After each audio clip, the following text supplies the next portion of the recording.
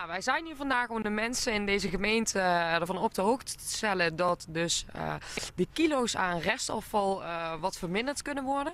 heel veel mensen weten op dit moment nog niet dat etensresten ook bij het GFTE-afval mag. Dus eerst was het het gewone GFT-afval, nu is daar de E achteraan geplakt. Um, en door middel van deze campagne, Samen aan de Bak, proberen we mensen eigenlijk te informeren en te motiveren om samen met ons aan de bak te gaan. Nou, we gaan langs de deuren uh, en gaan eigenlijk met mensen het gesprek aan. Over hoe zij op dit moment uh, het afval scheiden. En of zij al reeds op de hoogte waren van dat uh, etensresten ook bij het GFTE-afval mag.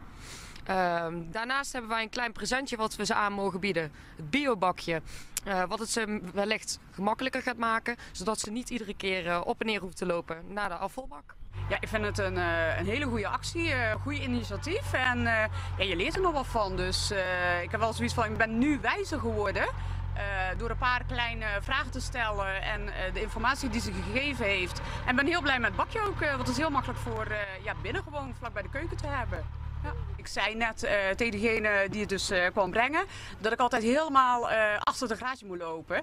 Ja, en dat doe je gewoon eigenlijk niet met een klein beetje. Dus ja, dan bak je het gewoon veel makkelijker, daar doe je het in. Dus ja, ik ga het echt gebruiken. En dan hoop ik dat u samen met ons aan de bak wilt. Dat doen wij. Ja? Nou, hartstikke goed. Nou, doe mij mevrouw hier al aan. Dus ja, nou. Hij dan misschien maar... al. En... Ja, nou hartstikke goed. Heeft hij die nu alweer. En misschien dat deze toch net iets makkelijker bent. Het uiteindelijke doel uh, wat ze bereiken, willen bereiken met deze actie is het uh, reduceren van het restafval. En dat mensen dus uh, bewuster worden van het scheiden van afval. met name het gooien van etensresten bij het GFTE-afval.